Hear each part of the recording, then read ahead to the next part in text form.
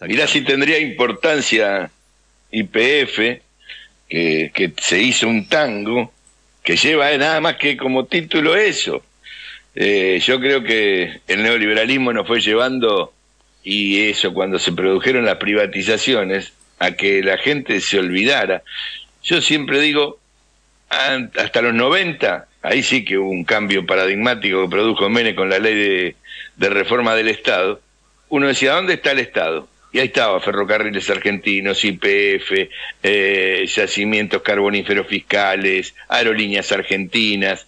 El Estado se veía, se palpaba. Cuando lo privatizaron, le cambiaron todos los colores y tuvimos los nacionalistas que seguir dando pelea, nacionalistas radicales o peronistas. Le traigo un saludo de los compañeros eh, Roberi que nos mandaron de Necochea porque hacen una nueva cita el viernes en Necochea y ya no vamos a poder ir nosotros como fuimos gozosamente, les cuento. Horacio Robelli, Néstor Picone, Ernesto Jaureche y Antonio. Te, ponemos el, audio para que escuches. Buen día, estimado Néstor. Les habla Miguel Ángel Bayón de la ciudad de Necochea, e integrante de la Asamblea por la Soberanía del Puerto Quequén.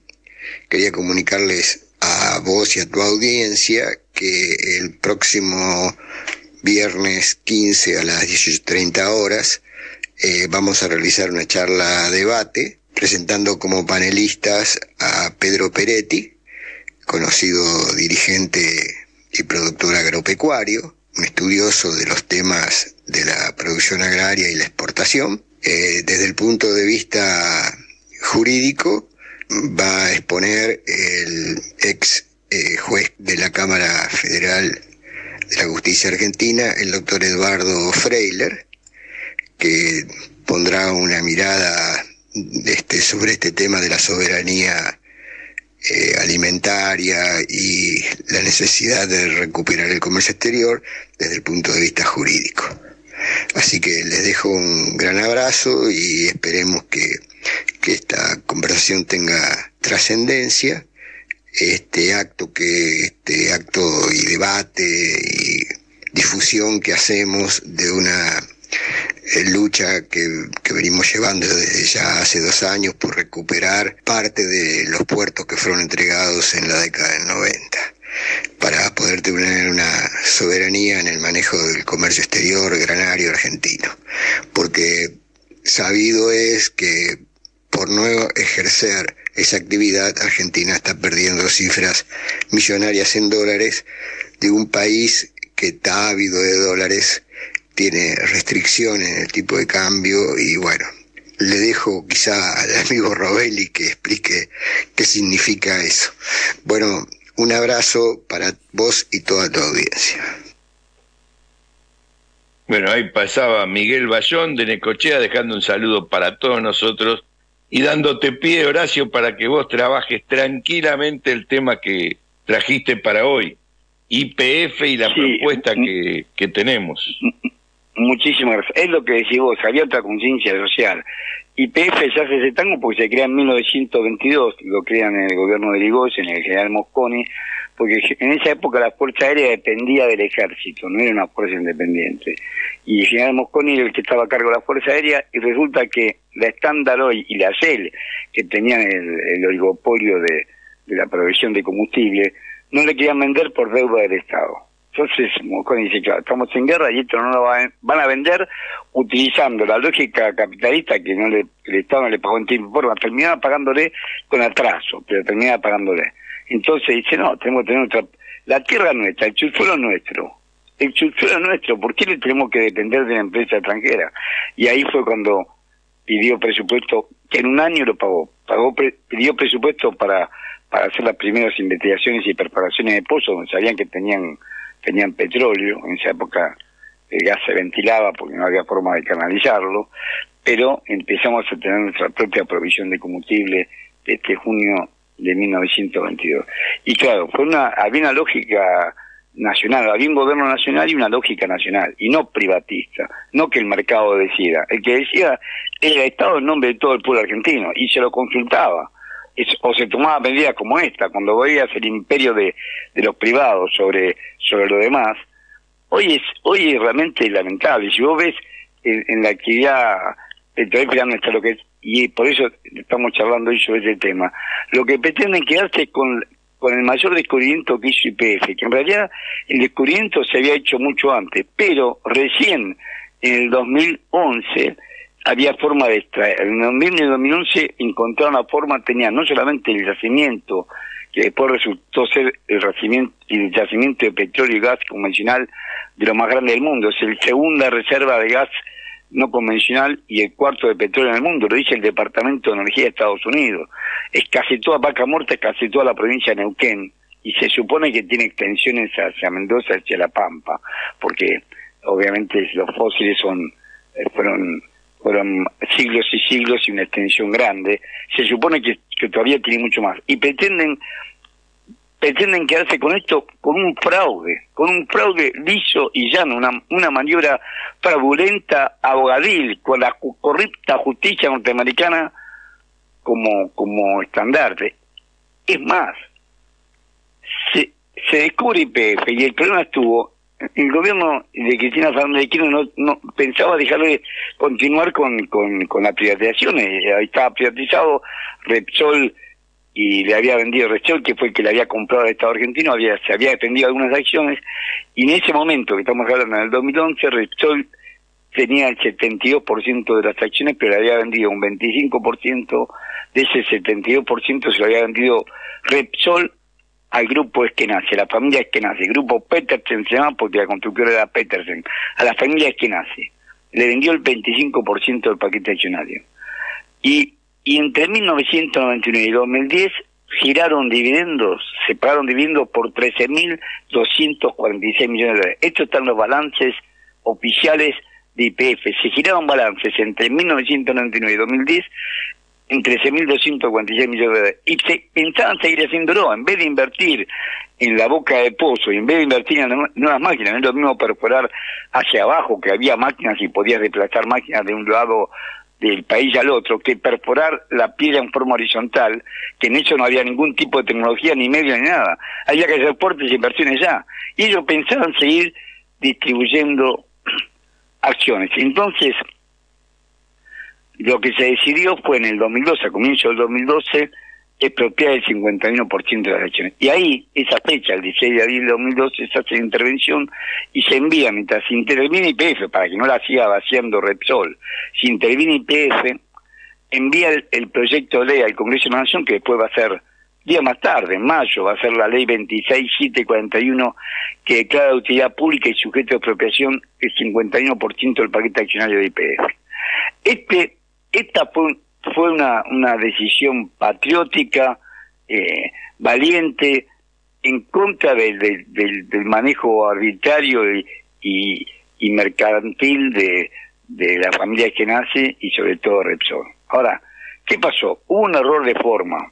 Teóricamente, según el estatuto de IPF, recordemos que cuando IPF va a cotizar en sus acciones en la Bolsa de Nueva presenta el estatuto. En el estatuto decía estatuto redactado por Roberto Dromi, es profeso, decía que se le tenía que ofrecer a los demás accionistas las mismas condiciones que se ofrece a, a, uno que se le compra. O sea que la oferta tenía que ser para todos. Era para evitar que el Estado pudiera recuperar IPF, porque el Estado no iba a poder nunca comprar todas las, em, toda la empresa. Sí pudo comprar la, mitad más uno y tomar la decisión, pero no podía comprar toda la empresa. Roberto Dromi, que es argentino, que vive en Mendoza, que comenzó su vuelo de, privatista siendo intendente de la ciudad de Mendoza puesto por la dictadura militar y después fue ministro de Obras Públicas de, de Menem y cerebro de, todas las privatizaciones había y por haber, de todo lo de Guastre sabidos y por haber. Puso esto para impedir que el Estado lo hizo. Una ley puede más que un estatuto un estatuto es un estatuto de una sociedad, estará colocado en Estados Unidos, lo que vos quieras, pero después será una ley posterior y el principio jurídico te dice que la ley posterior, a partir de ese momento, cambia toda la regla de juego.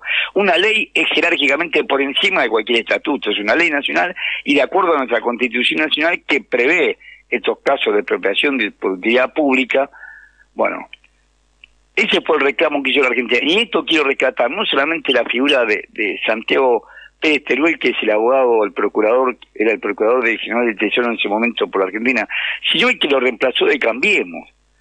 Sarabia Frías. Los dos actuaron según el derecho nuestro, o sea, los dos no se apartaron en ningún momento del derecho nuestro y hicieron los mismos reclamos. Sin embargo, el grupo Petersen Esquenazi que había acordado con su, había tomado, según él había tomado, había comprado el 25% de Repsol, lo había comprado con créditos internacionales. Entre otros créditos, el mismo Repsol le daba. Yo quiero decirle a todos los oyentes que uno de los dueños de Repsol es BlackRock, para que podamos entender por qué, por qué esta presión. BlackRock, que es uno de los principales dueños de todo, BlackRock es uno de los, es uno de los accionistas, tiene participación accionaria en Repsol de España siempre la tuvo y la ha acrecentado con los años. Bueno, entonces, eh, la familia Eskenazi se da y dice que quiera porque no pudo pagar la deuda, porque no pudo rescatar el dividendo. Cuando lo primero que hizo la intervención del Estado, apenas apenas se hizo cargo de, de quien ya tenía la ley, fue hacer una nueva acta del directorio por la cual anuló todas las actas continuas anteriores. No hay un principio de continuidad jurídica como si fuera una nación. un nuevo directorio puede cambiar todo. Eso lo dice claramente nuestra ley de sociedades, 19.550. O sea, ellos son privatistas cuando quieren, si no son legalistas y estatales. No hay una continuidad jurídica, no existe la continuidad jurídica en la Argentina de una empresa. Cambió el dueño de la empresa, el 51% pasó estatal y hizo una asamblea, legalmente hizo una asamblea y decidió que no, que las que los dividendos se iban a invertir para poder sacar el, como se hizo, para destacar el gas y el petróleo de vaca muerta. Por supuesto, el que no se yo puso porque sabía que iba a la quiebra, fue a la quiebra y no tuvo mejor idea que presentarla donde estaba Repsol, porque él le compró Repsol, y entonces presentó la quiebra en el juzgado mercantil número 3 de Madrid. En España, y PF es Argentina. O sea, nosotros no, no podemos cumplir con el estatuto, pero tenemos una ley que nos protege que es superior al estatuto. Pero este, este obrando de mala fe, fue a España. ¿Por qué fue a España? Porque en España litigan todo. Entonces, como no como nadie se hacer cargo del tema, la justicia peruana estaba dispuesta a hacerse del tema, le permitió a la familia nazi venderle el juicio contra la Argentina. En ese momento era contra IPF y contra el Estado argentino. A Burford Capital, que le pagó 15 millones de euros, en ese momento 16 millones de dólares. O sea que encima cobró por, por hacerle el juicio a Argentina, cobró dinero 16 millones de dólares y, le dejó el, el, juicio a... Es más, el acuerdo dicen que si cobra todo el, juicio, que son, ahora, sabemos que son por más de 16 mil millones de dólares, por más de 16 mil millones de dólares, eh, se quieren quedar acá muerto, la Argentina no puede pagar eso, él y, y, le va a dar una parte, el estudio lo reconoce una parte, tiene el 70% y lo reconocer un 30% a la familia que nace. Le pagó en efectivo 16 millones de dólares y, encima, ganando el juicio, de lo que cobre el juicio, le va a dar un 30% a la familia que nace. Uno parásito, uno que no hicieron absolutamente nada, ya te digo, comprar las acciones con los dividendos, sin pagarlas de ellos, y encima siguen jugando capitales. En la Argentina actual, la familia que nace, en el gobierno de Cambiemos, los cuatro años de gobierno de Cambiemos, compraron 103 millones de dólares. Estaban en quiebra. La plata la cobraron dólares en euros, pero la dejaron afuera. Y acá en la Argentina compraron con pesos, está demostrado que compraron y los bancos le vendieron 103 millones de dólares. Enrique si la mujer, los dos hijos y un hermano. Los cinco compraron 103 millones de dólares. El Estado jamás lo llamó para decirle, si no necesitas en quiebra, ¿dónde sacaste la plata? La PIB no lo llamó para decirle dónde sacaste la plata para comprar esto. Después tiene, vos sabés que tiene la dirección de los bancos provincia de Santa Cruz, provincia de Santa Fe, provincia de San Juan y el nuevo Banco de Río. En el convenio lo hizo, tiene cuatro bancos, cuatro bancos de provincia. Jamás, jamás la justicia ni el Banco Central le fueron a hablar sobre su administración de los bancos. ¿Dónde sacaban la plata para comprar los 103 millones de dólares? Bueno, yo te quiero decir que que finalmente, como no puede hacer otra cosa, el que le compró Bulls Capital saca el juicio de Madrid y lo lleva, o casualidad, al segundo distrito Manhattan Sur. Ya había fallecido Tomás Griesa, pero la que reemplaza no mejor, la jueza Loreta Presca, que es la jueza superior de, Estados Unidos. Ella determina, lo pone como, mira lo que hace. Hace un fallo que nosotros leímos ahora, el 8 de, de septiembre. La Argentina perdió el juicio en marzo porque le reconoció la jueza de la pesca ya reconoció que, que, la Argentina estaba había incurrido en errores jurídicos y le reconocía derecho de acreencia al estudio Woodford Capital, que es un estudio inglés que se dedica solamente a esto, o sea que a colmear jueces, a corromper jueces para poder hacer esto. Son unos caranchos, hay que decirlo claramente. Ellos llevan adelante un juicio que le Parásito los estenazis, parásito la jueza, parásito el, el, el estudio, todo en contra de Argentina. Entonces, que la Argentina pagó, porque ya tuvo la experiencia, ya tuvo una experiencia tan llevado por la experiencia de, de los dos puntos buitre que habían logrado contra Argentina, eran menos de 600 millones de dólares y cobraron 9.350 millones de dólares. Ahí recibió plata que recibieron plata todo. La justicia contraamericana, todo. Iban a hacer el mismo procedimiento. Ahora la Argentina le quiere apelar ante la Corte de Apelaciones de Estados Unidos y después la Corte Suprema de Estados Unidos. Son 18 jueces que no saben dónde queda la Argentina. Te das cuenta que por algo por algo, por algo no van a tratar de decir lo mismo, no vamos a drogar acaso, vuelve a su fuero original, a la jueza Loreta Presca, que ya sabe y la acusa a la Argentina de que fue, o sea, la pone como víctima Repsol. Dice que no le dejó ejercer el control a, a Repsol de la, de, la venta de la empresa, que fue indirectamente que va fuera Repsol porque hubo una intervención del Estado, cosa que, no, que la, nuestra Constitución Nacional, nuestro derecho soberano, eh, nos permite hacer esto. Está la trayectoria pública, lo dice claramente la Constitución Nacional. Bueno, Repsol y las familias que nacen se pusieron como damnificados. Y resulta que por eso tenemos que pagar 16 mil millones de dólares, porque encima nos cobran interés de un poco más del 8% no en dólares. 8% no en dólares es una tasa punitiva de este el 2012, este abril del 2012 desde el 16 de abril de 2012 hasta hasta el día de la hasta, hasta la condena esta que en realidad después no va a cobrar más porque porque después tiene otro otro juicio más para cobrar desde que la jueza se pidió como la Argentina apela encima tiene que pagar más hasta que dentro de dos o tres años o menos la justicia norteamericana decida que la Argentina tiene que pagar como hicieron el mismo procedimiento no lo van a tomar ni la ni la Corte de Apelación de Estados Unidos y menos que menos la Corte Suprema de Estados Unidos que es peor que la nuestra ¿Por qué? Entonces la pregunta es, es claro que la Argentina actuó de acuerdo a derecho. Y en esto que vuelvo a rescatar ahora de los tres, porque ahora está Carlos Anini. Los tres, de los tres, el Procurador General de Tesoro es el jefe de los abogados nacionales. Los tres actuaron en, en, en función del derecho y la Constitución argentina y en defensa de las sentencias nacionales. Los tres. ¿Por qué se perdió? Bueno, porque Repsol, detrás de Repsol está BlackRock.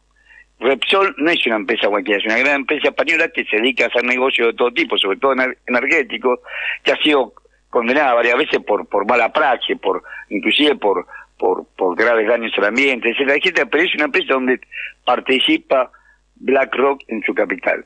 Y BlackRock no es un tema menor en Estados Unidos. BlackRock es la persona, eh, la es una persona más rica del mundo, su director, pero BlackRock es el principal fondo de cobertura del mundo y si fuera un PBI sería el tercer PBI del mundo porque administran cerca de 10 billones de dólares. Más de 20 veces lo que producimos nosotros por año administran ellos en activos financieros. Entre ellos están los de Repsol y también tienen un, casi un 6%, 5,97% del paquete accionario de IPF que fue comprándolo en la bolsa de Nueva York esperando que los argentinos medios y medio ricos que tienen banco con 50 corrientes en Nueva York compren acciones de, de, IPF y la vendan por la mitad de su valor afuera, se quedan con los dólares, pero pero Larry Finn, BlackRock, que sabe lo que salen, la compran por la mitad.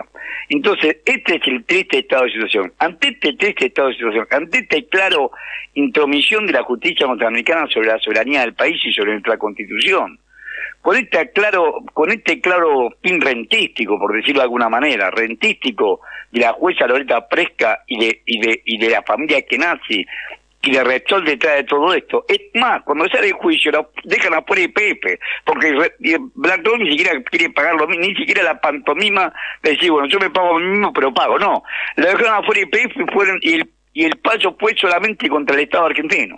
Hasta eso hicieron. Bueno, todas estas aberraciones jurídicas la Argentina tiene una sola forma de, de, de, imponerse. Rechazando el juicio. No tenemos por qué, ellos no acatan un, juicio de la, justicia argentina. La Argentina se han repudiado, mirá lo perdido la cantidad de años que estuve viviendo en Estados Unidos, Jolen Manson, todos estos se repudian en Estados Unidos, vos tenés que hacer los trámites legales, te tienen que por, por, por delito de derecho a humanidad que están penados la CIT, la Comisión Interamericana de Derechos Humanos de, la OEA, dice que prescribe, menos un delito económico. O sea, si hubiera sido delito, sería un delito económico.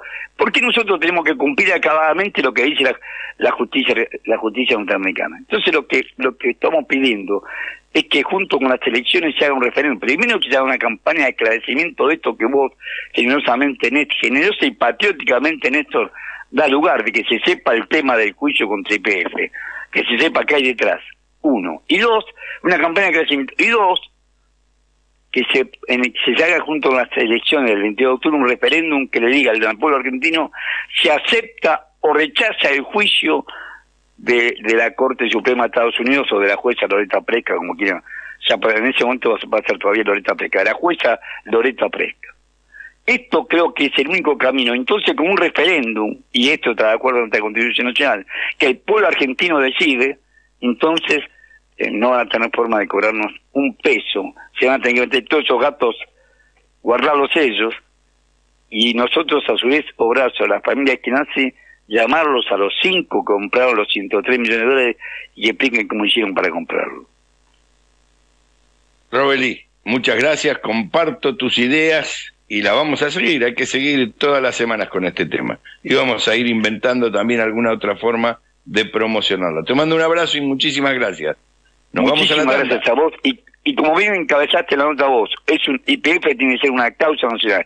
El recurso más importante que tiene Argentina ya no es la joya, es la joya, el de toda la herencia, es vaca muerta.